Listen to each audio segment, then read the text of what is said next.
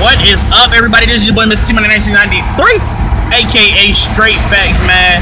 And I am on my way right now. You know, black people running a little late. I am on my way up to Wofford right now in Spartanburg, South Carolina, to go see the Panthers practice, man. Uh, had a day off, man. Had to go see the boys. You already know what it is, bro. Black and blue to the day I die, man. You feel me? Uh, so I do have my camcorder with me. It will be footage recorded. God willing, you know, once I make it safely.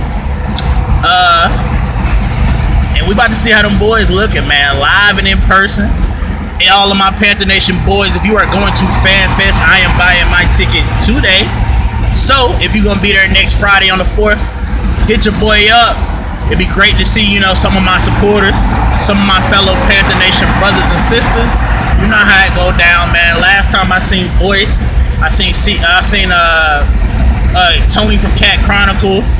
Uh, it'd be nice to see everybody. Uh, my boy CPG, you already know. Hit me up if you try and go, bro.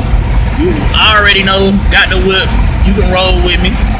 Uh, other than that, man, I will have a video up soon with our Madden ratings for all my Madden fans.